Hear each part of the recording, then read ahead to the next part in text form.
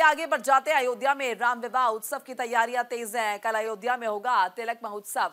राम सेवकपुरम में होगा तिलक कार्यक्रम। श्री राम जन्मभूमि तीर्थ क्षेत्र ने दिया निमंत्रण। 26 नवंबर को शुरू सीताराम विवाह।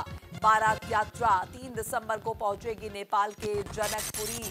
तो राम विवाह की तैयारियाँ तेज हैं। अयोध्या में कल तिलक महोत्सव होगा। अयोध्या में राम विवाह उत्सव की तैयारियाँ तेज नज़र आ रही हैं। कल अयोध्या में तिलक महोत्सव होना है।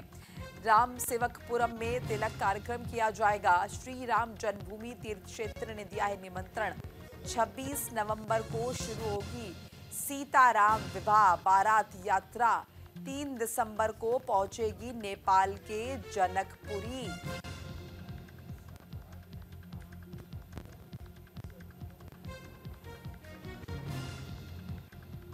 कल अयोध्या में तिलक महोत्सव होगा और राम सीता विवाह उत्सव की तैयारियाँ तेज नज़र आ रही हैं। अयोध्या श्री राम की नगरी और नेपाल के जनकपुरी माता सीता की नगरी।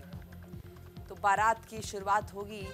तीन दिसंबर को नेपाल के जनकपुरी पहुँच जाएगी। तमाम तरह की तैयारियाँ इसके मद्देनजर की जा रही हैं। अब चूँकि देखिए अयोध्या में राम मंदिर भी स्थापित हो चुका है, ऐसे में विवाह उत्सव की रौनक और तैयारियाँ देखते ही बन रही हैं। निमंत्रण भी इसके जो हैं, छप चुके हैं और बाकायदा निमंत्रण भी भेजे गए लाडकी बही